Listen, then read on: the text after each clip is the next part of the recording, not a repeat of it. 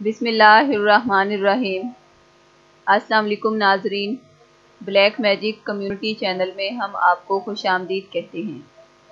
जिन अफराद का कहना है कि अल्लाह हमसे नाराज़ हैं, शायद इसलिए हमारी दुआ कबूल नहीं होती तो वो अफराद इस वीडियो को लाजमी देखें। हज़रत अली करमुल्ला वजह सरकार से किसी ने पूछा कि ये कैसे पता चले जो परेशानी या मुसीबत हम पर आई है वो अल्लाह की तरफ़ से हम पर आजमाइश है या फिर सज़ा?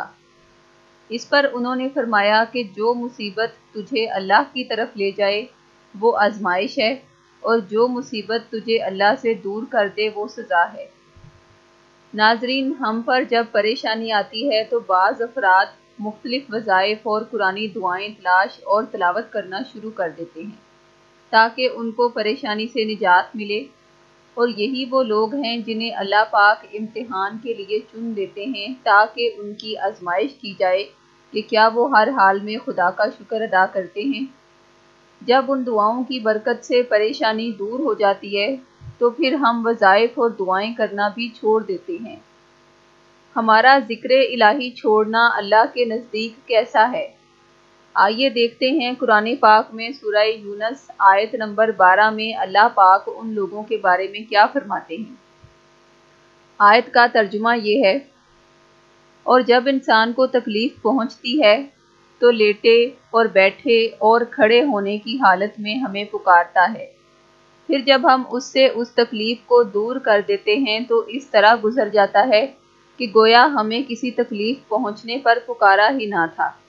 इस तरह बेबाकों को पसंद आया है जो कुछ वो कर रहे हैं।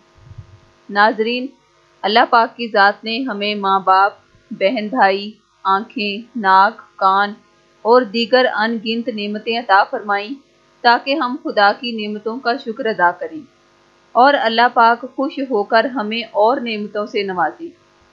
मगर हम में से कमज़ोर ईमान और आखरत की परवाह ना करने वाले इंसान दुनियावी नेमतों में ही खुशी तलाश करते हैं और नेमतें अता करने वाले परवरदिगार को भूल जाते हैं। ऐसे इंसान अल्लाह की नज़र में नापसंदीदा हैं।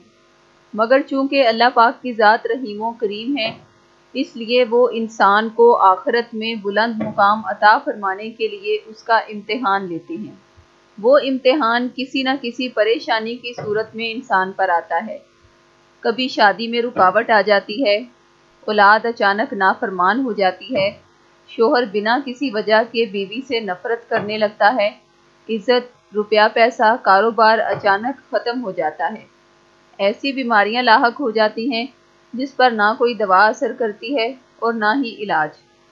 इस तरह की बेशुमार परेशानियाँ जो इंसान पर अचानक आती हैं और ख़त्म होने का नाम नहीं लेती और ऐसी सूरत हाल में जब इंसान हर तरफ़ से मायूस और परेशान हो जाता है तो फिर वो अपने उसी रब की तरफ़ रुजू करने लगता है, जिसका शुक्र अदा करने का उसके पास वक्त नहीं था।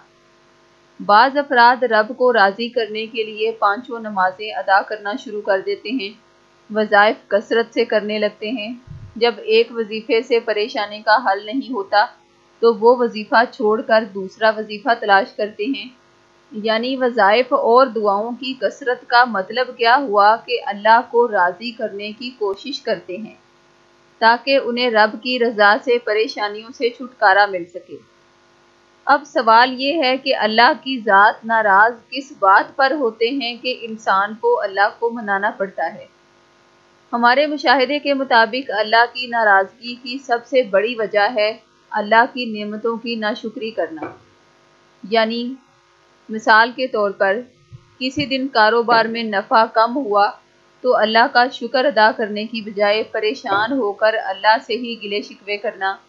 बीमारी आ जाए तो उसे अल्लाह का अजाब समझना। रोज़गार ना मिले तो कहना कि अल्लाह ने हमें दिया ही क्या है। नाजरीन, हमने इसी तरह के बहुत से साइलिन को इन ही अल्फाज में अल्लाह की नाशुक्री करते देखा है। अल्लाह की नाराज़गी की दूसरी वजह है गुनाह कबीरा का मुरतकब होना। सूरह बकरा आयत नंबर एक सौ बावन में अल्लाह पाक इरशाद फरमाते हैं कि बस तुम मुझे याद करो, मैं तुम्हें याद रखूँगा और मेरा शुक्र करो, मेरी नाशुक्री ना करो। अब सवाल ये पैदा होता है कि ऐसा कौन सा अमल किया जाए कि जिससे अल्लाह की ज़ात हमसे राज़ी रहें और अल्लाह का शुक्र भी अदा होता रहे और परेशानियों से निजात भी मिले। और हम अपनी आजमाइश में भी कामयाब हो सकें। हमारे तजर्बात, मुशाहदात के मुताबिक इंसानियत की मोहब्बत दिल में रखते हुए अल्लाह को उसके पाक नामों, यानी इसमें आज़म से पुकारना ही अल्लाह की तारीफ़ भी है, शुक्र भी, और इसी में अल्लाह की रज़ा भी है, और आखिरत में कामयाबी भी, और दुनियावी परेशानियों से निजात भी। बुज़ुर्ग फरमाते हैं कि जो इंसान अपने नाम का इसमें आज़म हासिल कर ले और फिर उसकी रोज़ाना तलावत को अपने ऊपर लाजिम करार दे और गुनाहों से अपना दामन बचा कर रखे और दूसरे इंसान का दर्द और एहसास अपने दिल में कायम रखे तो रहमत इलाही उस इंसान पर अनवार तजलियात का ऐसा जहूर फरमाती है कि कारोबार में वसत हो जाती है, रिश्तों में मोहब्बत पैदा होती है तंग दस्तियाँ और गुर्बत ख़त्म हो जाती है। शादी में आसानी हो जाती है। इज़्ज़त, शोहरत और कामयाबियाँ उस इंसान का मुकद्दर बन जाती हैं, जिसने इसमें आज़म की तलावत को अपनी अवलिन इबादत में शुमार कर लिया।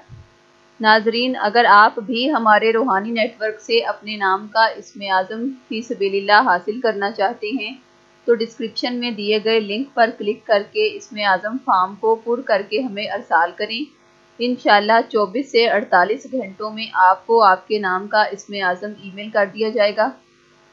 नाजरीन, अगर आपको ये वीडियो अच्छी लगे तो इसे ज़्यादा से ज़्यादा शेयर करें। हो सकता है कि आपके शेयर करने से कोई शख्स इसमें आज़म की तलावत का पाबंद हो जाए, जो अपनी और हम सब की निजात का ज़रिया बने। हमारी दुआ है कि अल्लाह तबारिक ताली की ज़ात हजूर नबी करीम सल्लल्लाहु वसल्लम के सदक़े में आपकी हर जायज़ दुआ को कबूल मंजूर फरमाएँ। आमीन सुमामीन शुक्रिया। अल्लाह हाफिज़।